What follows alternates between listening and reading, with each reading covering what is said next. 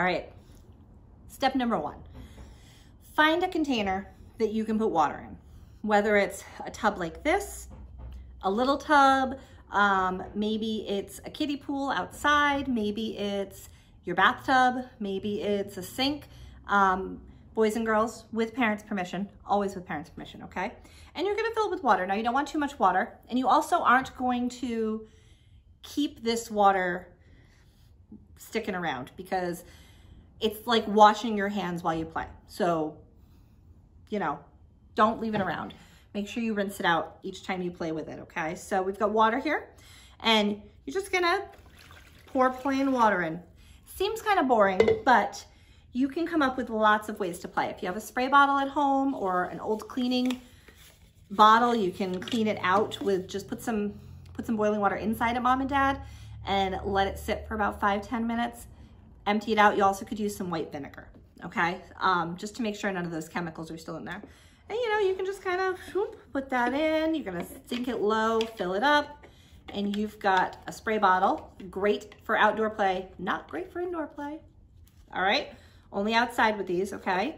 And never in people's faces, but you can spray things. It's gonna take a minute because I just put fresh water in. It's not gonna work, but you can spray the ground when you're doing your paintbrush painting. It's not gonna work right now, that's okay. Um, if you have a funnel in your kitchen, cup, here's that floating cup. Hopefully you guys can see it. I know it's kind of hard to see in here, but it is floating right now. I'm gonna take a scoop. I literally just went through our supply area and found things. And I'm gonna pour some water through my funnel into the cup and the cup isn't floating anymore. Now it's sinking. So that's a great way to look at floating and sinking with things. Remember, you can always use your brushes inside or outside. This also works if you have like cardboard from recent deliveries.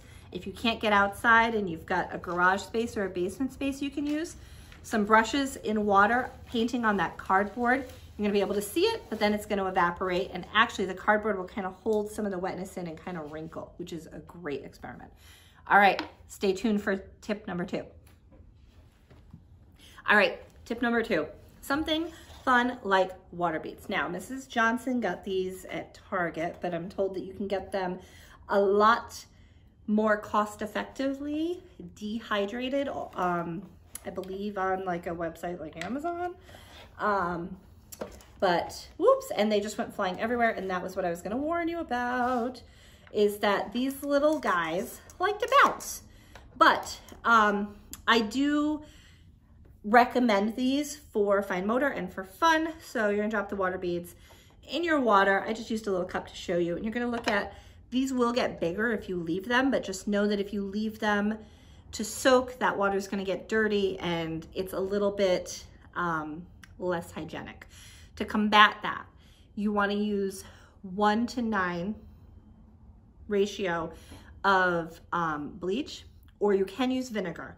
Um, at school, we do use the one to nine ratio for bleach in our water tables. So that's one, it's one, okay, hold on. Wow, my brain just went.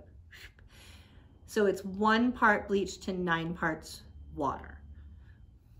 Figure that out.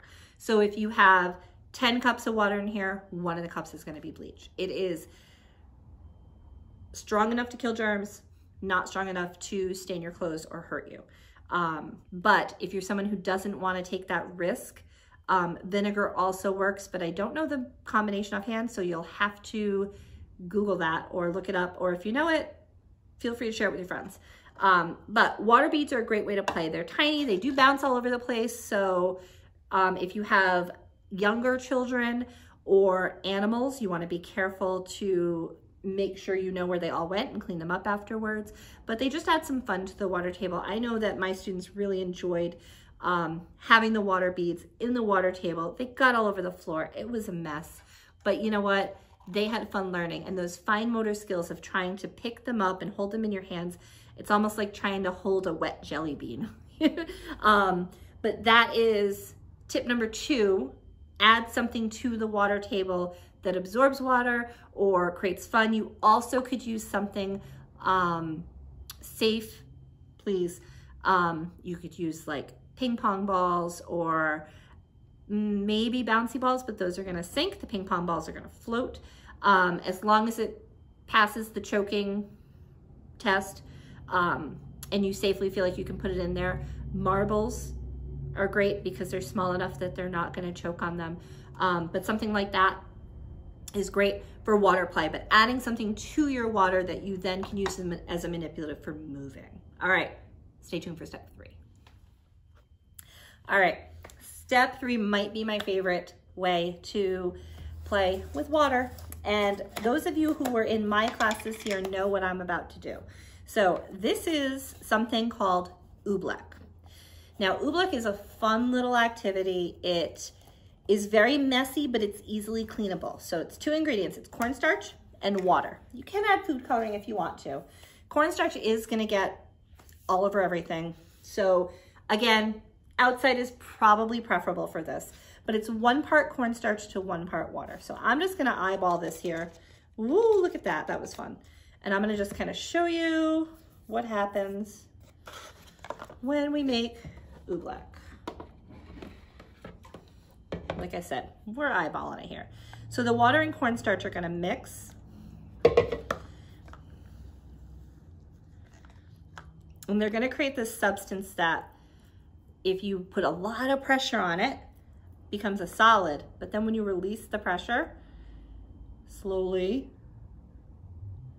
I don't think there's enough water in this yet. Hasn't mixed enough yet. So with a lot of pressure, it's a solid. And when you let go, it becomes a liquid. Again, same concept, great fun. You don't wanna keep it for more than a few days. It's extremely messy. I highly recommend outdoor for this activity, but it's a great way to play in water. It's very soothing. You get that like calming effect of watching the water flow, but then you also get that deep pressure effect ooh, of creating the solid oobleck, which has now just completely gone to the bottom of my cup. And we're just gonna pour some of that water out.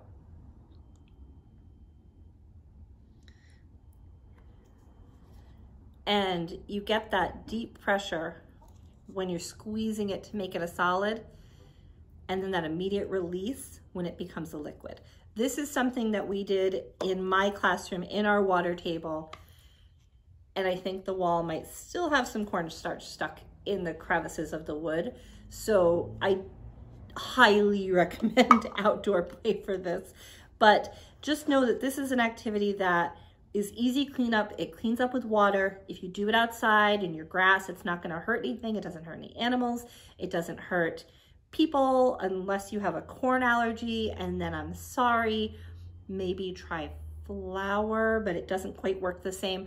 Um, but that's my recommendation for you. So that's tip number, I think that was three. I'm coming back with one more. All right, hang tight. All right, last but not least, my very favorite place to be is the beach, right? Of course. So we can create a beach scenario right here in our water table. So I've got some water. I put this under this side just to kind of show you what's gonna happen when the water and sand mix. But I've got a little bit of sand from my sand table. If you don't have sand, listen, you can always make mud and put some dirt in. It's really okay. Just do it outside. Okay. and make sure that you have fun while you're doing it. So I'm gonna, I'm gonna put the sand right over here. Now this is sand from my sand table. It's got some stuff mixed in with it. It's kind of messy, but I'm improvising with what I have here, okay? So I've got my sand, and in my sand, I'm gonna take some little plate crabs, And then over here, my water, I'm gonna throw some fish in. I'm gonna put some seashells by the shoreline. Bada bing, bada bing. Maybe that crab's hiding underneath that shell. All right, I'm gonna grab my food coloring. Pause, I just forgot. Da, da, food coloring. Because you wanna kind of see the water. If This is a clear thing. And I think I've got blue. I do have blue, yay. And I'm just gonna put like one, is two. Look at that, a few little drops of blue in there to make some blue water. Completely safe. All right, ready? It will get on your hands a little bit, don't worry. It comes off eventually. Soap and water. And now I've got my beach and I've got kind of some sand at the bottom. I've got some fish, I've got some seashells. Now, I didn't use a lot of sand, so I can't really dig in the sand, but I can kind of move my crabs around. The shells are great little shovels and they'll kind of pick up that sand and you can spread it out. The sand will get colored with the food coloring if you use food coloring, so just know that. It's gonna be a little funky, but you know, just have fun with this. It's one of those things where be as creative as you want. Do what, whatever you can do to make this a fun family event. Find things around your house, find things outside, put some rocks in your water, put some seashells, put some grass, I don't care, but have fun with it. Be outside creating and enjoying the fun that water brings you. We hope you're all doing well. Send us any emails with questions, the Little Shepherd Preschool at gmail.com, and know that we are having fun creating and learning with you, even if it's from afar. We hope you're all well. Take care. Bye-bye.